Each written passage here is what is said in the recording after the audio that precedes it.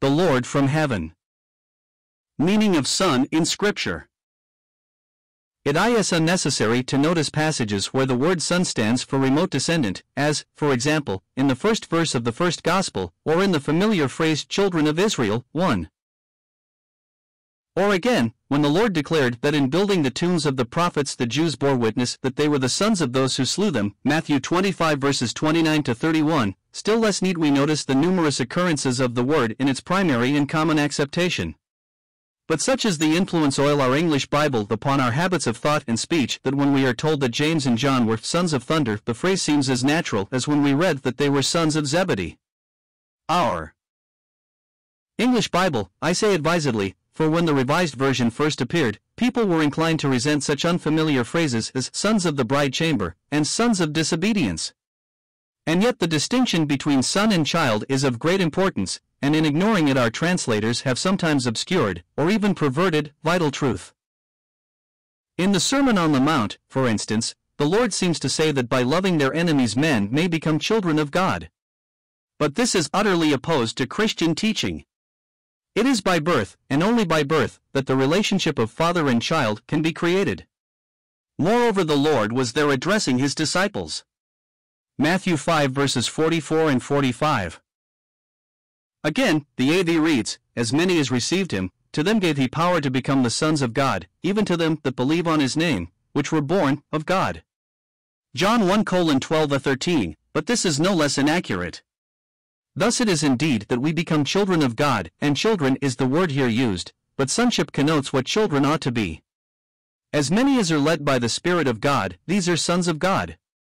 Romans 8 verse 14, cf 2 Corinthians 6 verses 17 and 18.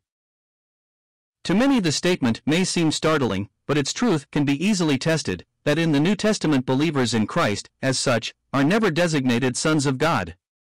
In other words, that phrase never occurs as a mere synonym for children of God.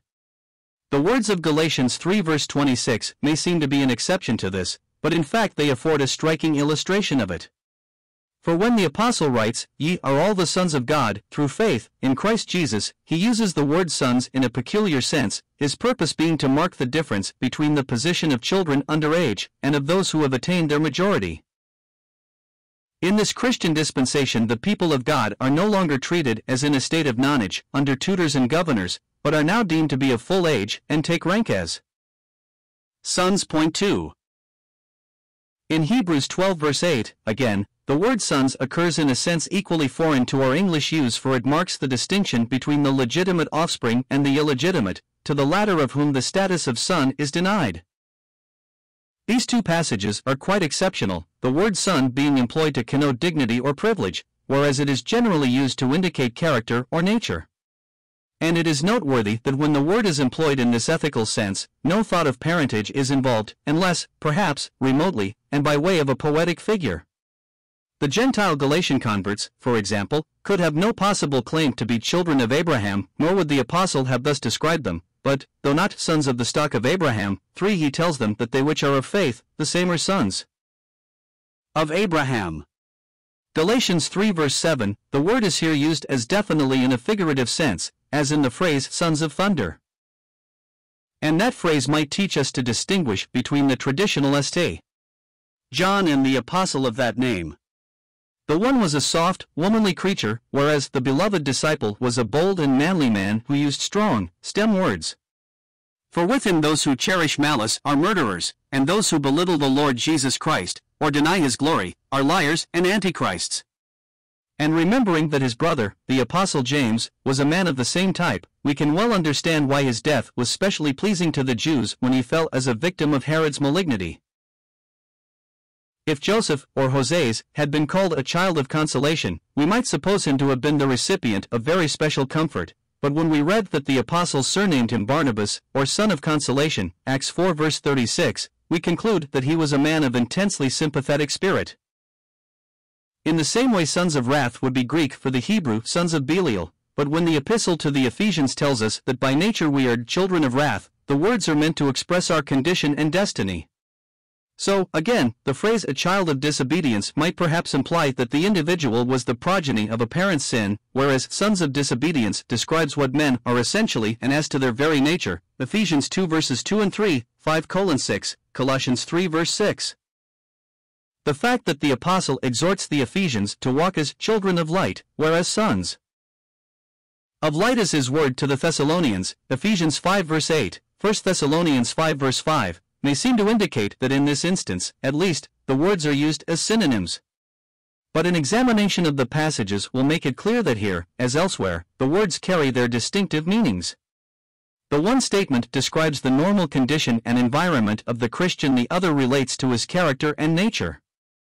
There is a double parallel. Watch and be sober answers to walk as children of light, but ye are all sons of light answers to ye are light in the Lord. This may remind us of the Lord's words in explaining the parable of the unjust steward The sons of this world are for their own generation wiser than the sons of the light. Luke 16 verse 8 The comparison here is not between earth and heaven, but between those who belong morally to the present economy and those who are light in the Lord. But in another passage, where the Lord speaks of the sons of this world and sons of the resurrection, the contrast is merely between our condition in the present economy and what we shall be when we attain to that world. Luke 20 34 36, he thus uses the phrase in a double sense. In the one case, sons of this world, or age, includes all who belong to this economy in the sense of being in it, whereas in the parable it indicates those who are of it. Nor will this seem strange if we keep in mind that in Scripture the word bears an oriental and essentially figurative meaning. And this is true, even where a literal sense might seem possible, as for example, when the apostle Peter appeals to the Jews as sons of the prophets. Acts 3:25 His audience may, of course, have included some who were actual descendants of the prophets, but the words he added, and of the covenant, make it clear that no such thought was in his mind. In addressing them as sons of the prophets and of the covenant, he was appealing to them as heirs of the hopes and promises of which the covenant and the prophecies spoke. So again, when the apostle Paul denounced Elymas the sorcerer as thou son of the devil, Acts 13:10, his oriental hearers would understand his words as describing the man's character and nature. And in this same sense it was that the Lord himself branded the typical proselyte of the Pharisees as a son of hell. Matthew 23 verse 15.